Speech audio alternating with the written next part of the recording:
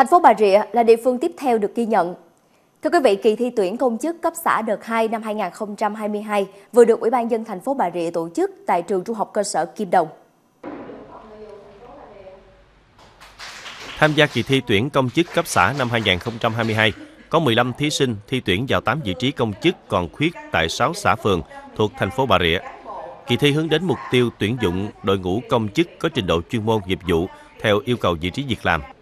Qua đó góp phần nâng cao chất lượng đội ngũ công chức làm việc tại cấp xã, nâng cao hiệu quả, hiệu lực quản lý nhà nước.